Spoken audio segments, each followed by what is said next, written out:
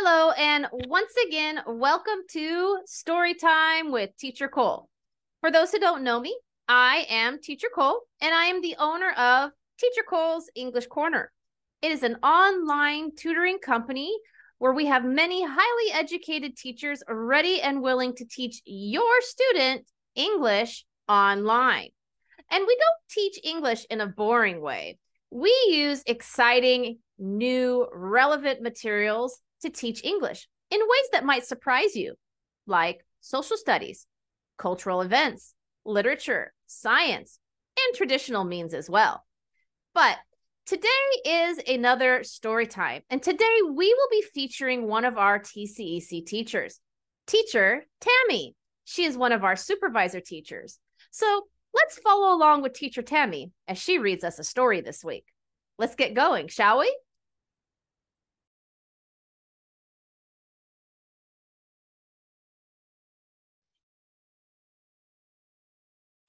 Hello, and welcome to Story Time at Teacher Cole's English Corner. My name is Teacher Tammy, and I am going to read you an Aesop's fable. Now, Aesop was a storyteller who lived in Greece a very, very long time ago. And a fable is a story that teaches us a lesson. Let's go and see what we can learn.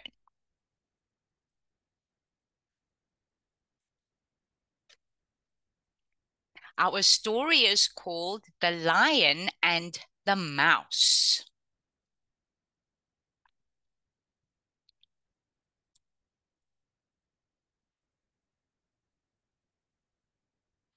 It's hot and sunny, and it's sunny this summer's day.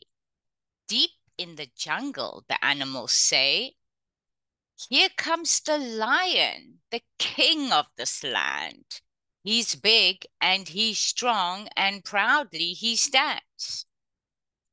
Listen, you all, I'm going to sleep. Be quiet, everybody. Nobody speak.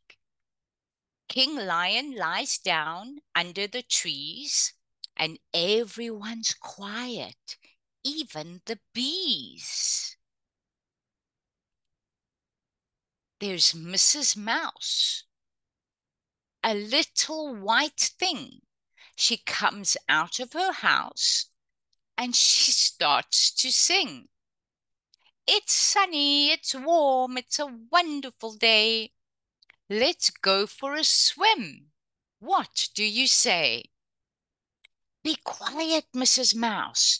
Do not stay here. Go back to your house. King Lion is near. Don't worry, he's sleeping. Don't worry, I say. I'm going to be careful. I'll swim far away. So away she goes. She counts one, two, three, and splashes her toes where he cannot see. But soon she forgets the lion is there. She swims very close to the lion's hair. What's that? What's the matter? A noise I hear? My eyes tell me a mouse is near. I'm sorry, O lion, I'm sorry, my king, but the summer day is good for a swim. Don't eat me, dear lion, I'll help you one day. Please let me go. What do you say? Ha ha, that is funny. You'll help me one day. You're too small for me. Just go far away.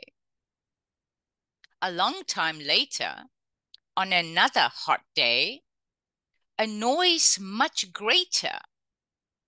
The mouse hears far away. She runs to the lion, and what does she see? He is in a net, hanging under a tree.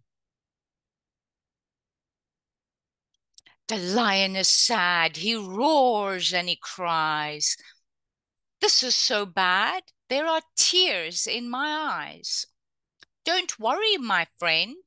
Don't worry, my king. Your troubles will end when I bite through that thing. So she starts to bite the ropes of the net, and soon he falls through and lands on his head. Thank you, my friend. I won't forget you. We'll always be friends, and I'll protect you. You're welcome, dear lion. Now you can see, no matter how small, a good friend I will be. People who help us are always there. We may not know it, but still they care. The mouse helps the lion escape from the net. Now they are friends and glad that they met. We have friends who are big. We have friends who are strong.